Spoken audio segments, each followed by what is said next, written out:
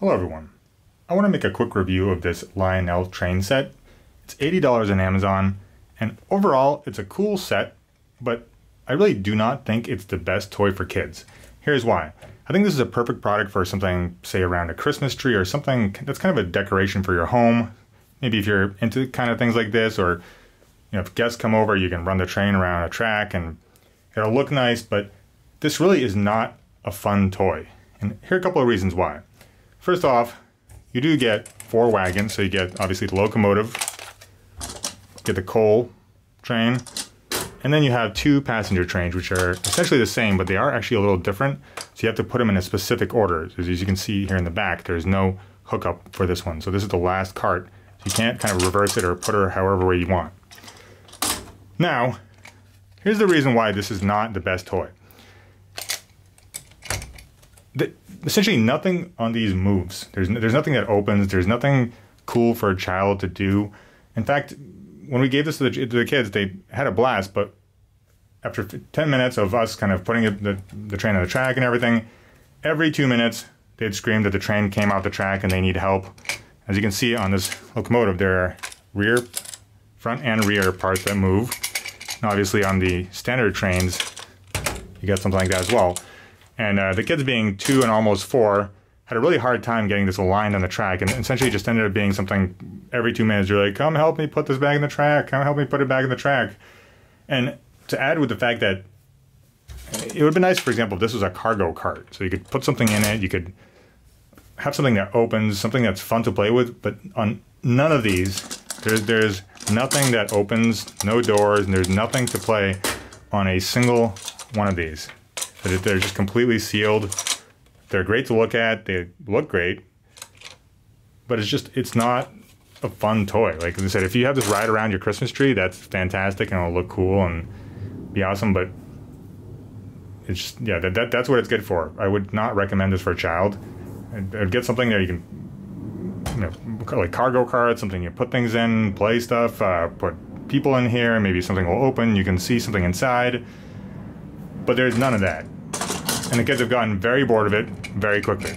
To add to that, you do need six C batteries to run the locomotive, which it does not come with, so that's not particularly cheap. And the fact that the set is $80, I know it's, it's kind of expensive, but it is a nice set. I mean, it looks pretty. So for 80 bucks, I think it's a fair price for all you get.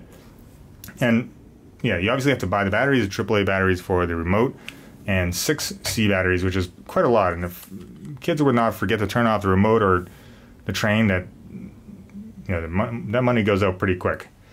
Also, like the the way the connectors are, they're a little difficult to to add the other cart.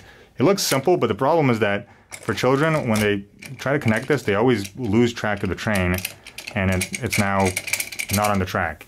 And this is another thing: is that when you build a standard track that kind of goes in an oval, the train, if you make it go even slightly fast, will derail on a regular basis, which is why where it comes in where every two minutes the kids will be like, help us put it back in the track, help us put it back in the track. And it just, it's not, it's really not a toy. It's, a, like I said, it's like a piece for decoration. That's what it is.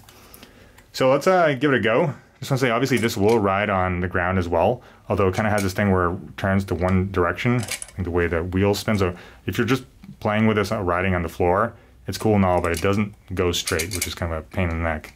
You can't even have fun with it that way. Uh, I turn it on.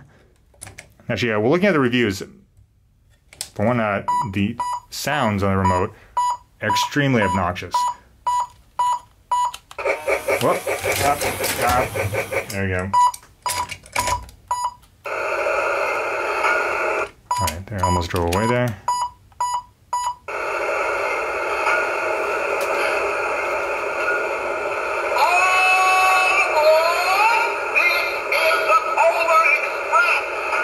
Has three buttons for audio. This one's kind of alright. It's there.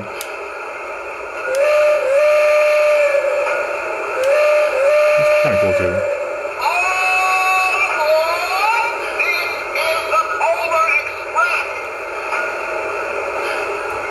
And as you turn it, obviously, it goes forward or backwards. And it moves at a decent speed.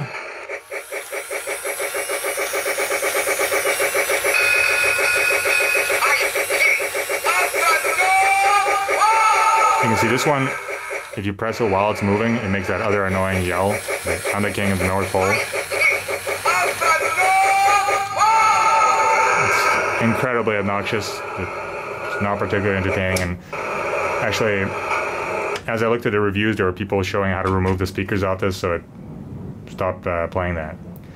So those are my two cents. Said, I think overall uh, the track quality is good. I actually managed to make some trains for uh, the Legos for this. It was uh, somewhat cool. There just there really just isn't anything fun to this. If you're thinking of getting this toy, honestly get it for like a grandma or grandpa or someone who likes trains and wants something pretty around their Christmas tree. Don't get it for a child who wants to play with a train because seriously, even if there's just one of these carts had little, little doors that you could open or like a cart where you could put things on the top, it would be so much more fun for a child to play. But it doesn't have any of that. It constantly slips off the track. I, I guess if you got significantly more rails for this, it could be more fun. But, but once again, you run into that issue of just each cart is one solid piece of plastic that does nothing except having spinning wheels in the back and on the bottom of it. Those are my two cents kids really don't care much for this set, and I don't. As an adult, I don't really find it either, like particularly entertaining. Just because yeah, it's not fun to play with. It's it's great to have in your home to look at, and that's about it. So yeah, those are my two cents.